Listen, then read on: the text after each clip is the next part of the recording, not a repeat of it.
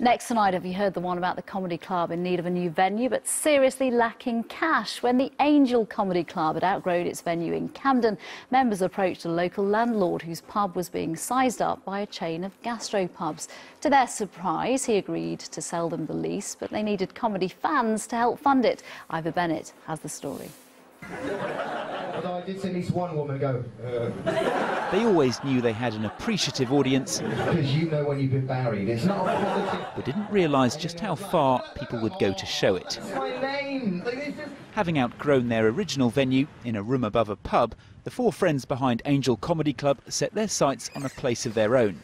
Since they don't charge for their shows, they asked for some help with the renovations.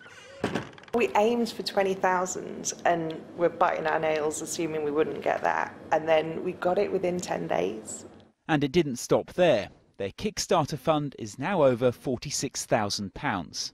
It's just been stunning because we did a Kickstarter campaign and 1,100 people has be, have become part of the club. People that just donated anything from one pound up to two thousand pounds. It's not that massively different. For now, it's still a work in progress, but the end product will be as much about comedy as community.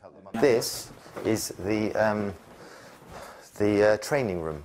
There'll also be a podcast studio and outreach programs for school children and pensioners. The key point for me was that it was a community club and it was being supported by the community and it, they were going to give back to the community. It's easy to see the effect the funding's had, and in return, donors get to name an object of their choice, from plug sockets to garden gnomes. And if donations reach £60,000, they'll even get to rename Barry. What could go wrong? What could possibly go wrong for a public vote?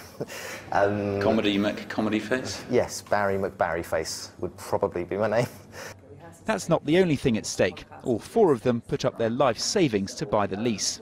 There was a thought of getting a house at some point in my future. Um, I don't know whether I can now. It's absolutely the scariest thing I think any of us have ever done. We didn't know his name. The club will officially open in October. Though there's still plenty to do, one thing they probably won't have to worry about is getting bums on seats. Ivor Bennett, ITV News.